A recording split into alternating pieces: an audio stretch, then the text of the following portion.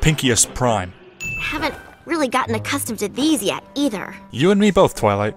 This pony doesn't stand out at all. He can't possibly be a significant character.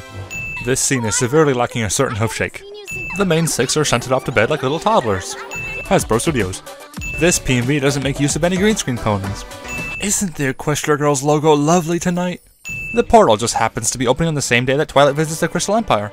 Twilight's crown just happens to look like the prize crown from an alternate dimension. Don't forget to stand there for a little bit and give the person you've just stolen from a chance to spot you. Every pony just casually went back to bed and waited until morning. Pretty much the only interesting bits of this entire story are told by a boring exposition.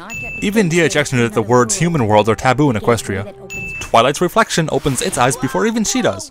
The fact that Celestia said the rest of the main six couldn't enter means she knew that their human counterpart lives on the other side and that Twilight's counterpart doesn't attend this school. I wonder what else she knows that she's not letting on to.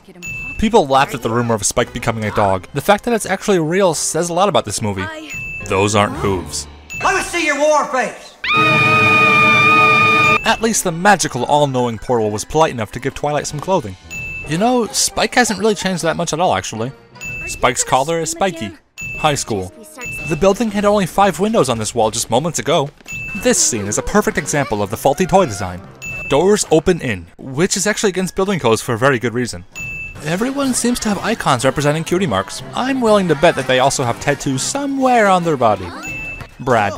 Math is so funny. Alright, so pretty much every pony from Equestria has a human counterpart in this world. As if that wasn't enough of a ridiculous coincidence, they all just happen to attend the same high school? I can speak to anyone any way I want. That statement really holds absolutely no weight. She's just a generic antagonist for the sake of being a generic antagonist. Writers, I am disappointed. Let me show you the greeting of my people. Spike has always been the button of jokes, but this movie brings about an all-time low for him. Leave it to Fluttershy to hand out flyers from this far away. Stop laughing. She later died from a concussion. So I decided to give it to Principal Celestia.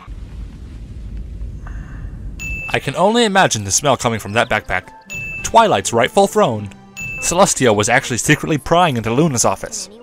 Looks like if I want my crown back, I'll have to become Princess of the Canterlot High Fall Formal. Or, you know, you could just steal the crown. You know, that would actually make for an immensely more interesting movie. I don't care if vegetarian burgers and hot dogs exist, this is still a funny sight. What would the Eco Kids say about using that many napkins? Just.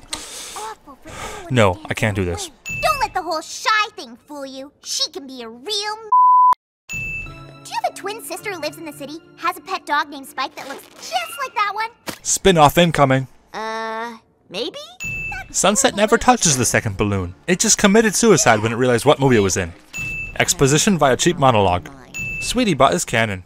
This movie mocks its own antagonist by giving a cameo to a better one. Twilight didn't see snips or snails behind these giant glass doors. it's so punny it hurts. Recycle bin and Internet Explorer, just like your mom's netbook. No, just. No! My reaction to this movie. I just can't help but get the feeling that Yet another major drive of the story based on a hunch. Don't you just hate waking up with cold feet only to find out your blanket is the wrong way? The parallax shift of the moon and stars suggests that they can't be up very high. As if spike and rarity shipping wasn't weird enough. This video page will only be relevant for a few months before YouTube changes again. Rarity beatboxes. The idea here is that Twilight brings them together as friends, but she really didn't do anything. They just sorted it out amongst themselves. This is not a rainbow. Default iMovie music. Pointless ex-boyfriend subplot that goes absolutely nowhere. I think Hasbro just gave DHX a description of what the toys had looked like, and they just had to roll with it.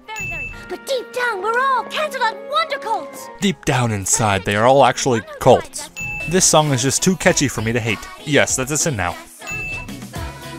Conspiracy theory time. Twilight appears to have been rotoscoped so as to make a change to the background. Speculate away. Sing a pointless song, win everyone's votes. This subplot about Twilight being framed could have actually been really neat if it didn't appear and then suddenly resolve itself within seconds. Snips and snails would have to have the exact same shape and build as Twilight for this to work at all.